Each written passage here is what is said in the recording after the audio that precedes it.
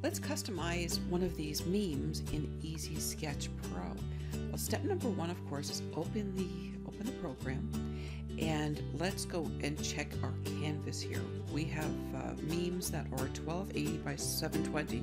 Those are high definition, so we want to work with a canvas that will support them. So we go into the uh, the canvas here, and we are going to change the canvas to full size uh, to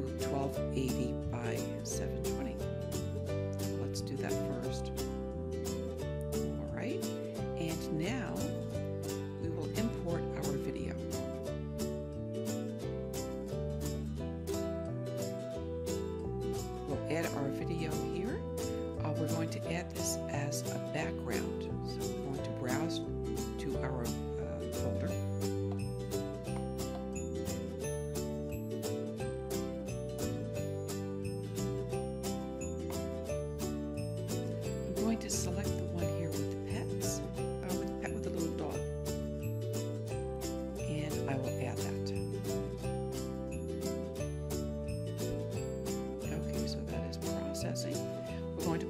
Video on the canvas, and then we are going to personalize it, customize it, and add our um, logo for our fan page if we want, or we can add a, a logo.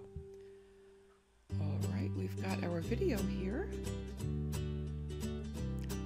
And as we see, um, I click the play button here.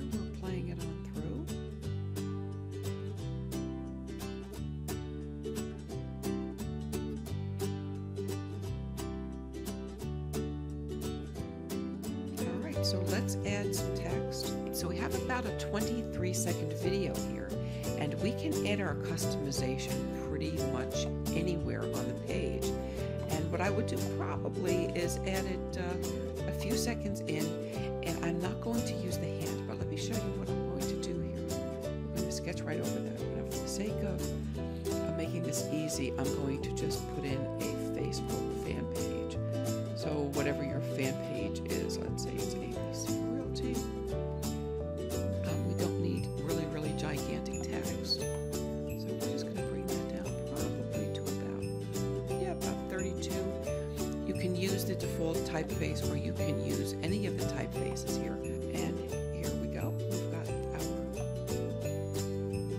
little identifier there. In fact, you know, it looks a little bit big to me for a meme, so I'm going edit that a little bit more.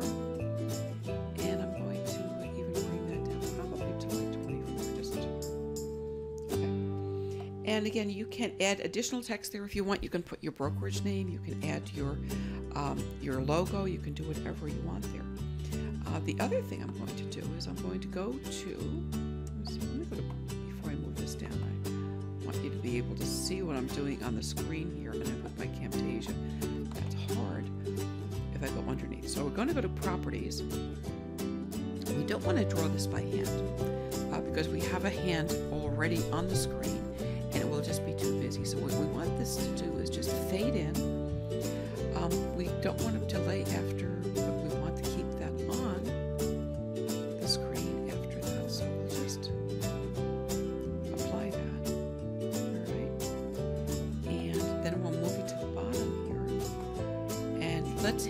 right, and see what that looks like. We had that set up to appear just a couple of seconds into the video. So let's play this.